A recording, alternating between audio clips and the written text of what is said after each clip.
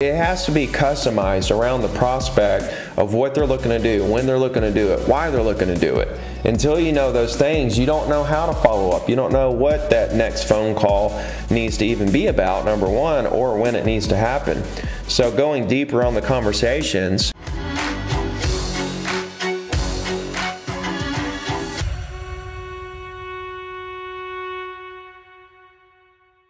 business is as big as the number of relationships in your database that you're cultivating with that personal branding machine. So, like, for me, market share isn't how many listings you have or closings you have compared to the rest of the market or what that percentage is at the end of the year. Market share to me is how many property owners in, in the market, what percentage of property owners in the market know who I am and are and I'm staying in touch with, right? And that love me. That's market share. You know, whoever has the largest percentage of property owners in the market who know who they are and is getting some kind of marketing material from them on a consistent basis, that's market share.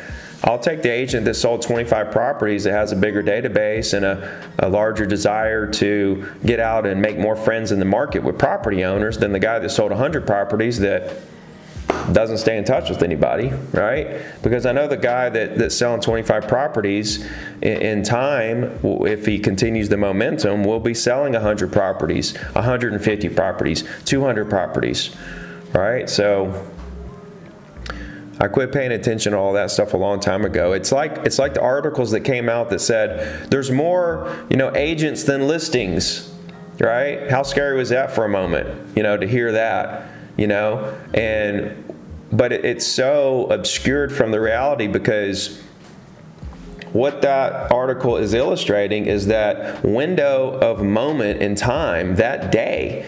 They're saying that there's more agents and listings today, but this was back when things were selling on average in one hour with 10 multiple offers right? So one day, let's call it. So there's more, so there's 1.5 million listings and there's 1.2 million agents in the country, okay? Well, that's just today. Tomorrow there's a new 1.5 listings. The next day there's a new 1.5 because all these listings are selling in a matter of minutes.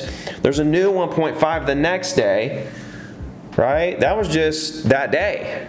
And that was just the listings that were on the market then. It's not like you have a different 1.2 million, million agents the next day. It's the same 1.2 million agents servicing these new 1.5 million dollar listing and uh, 1.5 million listings the next day. You know, it's it's it's really all perspective.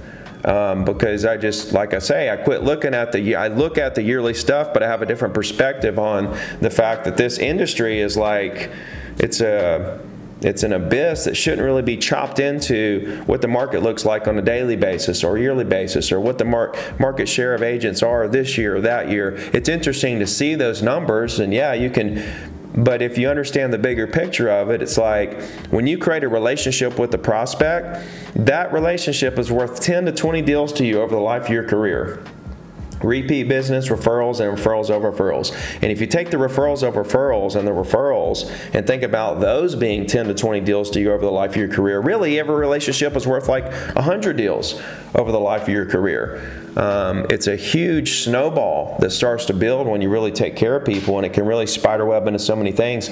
There's light at the end of the tunnel in terms of when you think about this, how we're out here prospecting, and we don't like it, and we don't want to call people, even though it's the funnest thing on earth, and it's the best opportunity.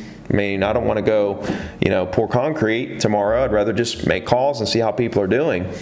But for the people that are scared, right, and don't look at it from that perspective, what you got to realize is that this is fun, number one. But number two, there's light at the end of the tunnel where if you go hard on this and go all in for a good three to five years and build that database up to 5,000 people, you can literally live off that database and close 50 to 100 deals a year from that point on with no prospecting, just from the relationships that you built right? And so it's not like we're, you're prospecting for the rest of your life here you know, we're doing this, we're putting the upfront work in to build the database up to the size that we need to to cultivate the amount of closings we want to have every year. Once you build it up to that point, then you can quit prospecting. And listen, it, it's a totally different ballgame when you're on that side of it, where people are reaching out to you that you built brand with and talk to.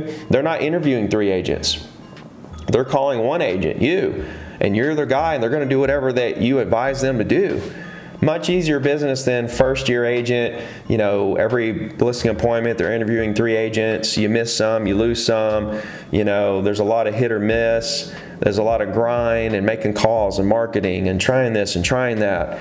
You know, you put all that together, you figure out what works really good for you, you eliminate everything else, you go all in on those activities and you have a three to five year plan to get to those, you know, five to 10,000 friends in the marketplace. So you can then turn that prospecting key off and then go do other things with your time in terms of spend more time with your family, go build other businesses, so on and so forth. I think a big mistake some of these coaches and brokers and trainers uh, make is that they put all these situations in a box and say, here's how you handle every situation right? And there's no way you can say, this is how you handle every situation. You should say this, and you should call back then, and you should do two text messages, a, a phone call, an email, and a, and a, handwritten note. There's no way you should, sure, there's some like general things that you can do every time, but it comes down more to um, learning more about the prospect to see exactly what their situation is. It has to be customized around the prospect of what they're looking to do, when they're looking to do it, why they're looking to do it. Until you know those things, you don't know how to follow up. You don't know what that next phone call needs to even be about, number one, or when it needs to happen. So going deeper on the conversations, spending some time with people to see what it is exactly they're trying to accomplish, and then creating a game plan that includes follow up around their needs you know that's that's how you do it but i mean i would just have to hear more about whatever the situation is she's asking about to give a better specific answer of people regardless of your personality or regardless of your you know your strengths and weaknesses and what you're good at and not good at and what your hobbies are there, there's a percentage of people no matter what kind of person you are, very introverted, this or that, there's a percentage of people who will love you and want to do business with you right? No matter what. And so it, it creates a situation where anybody can win in this business. Anybody can win. The problem is people just fail to search for the correct path. And then a lot of people just want it too quick. You know, they get in the business for 30 years and then quit after eight months. Like, wait a minute, you just you you joined to do this for 30 years and you know you actually were just getting to a point where you're learning getting a good handle on a few things and you quit you know it shouldn't matter if it takes you two years to figure this thing out. You still got 28 years that you originally committed to go out there and crush it.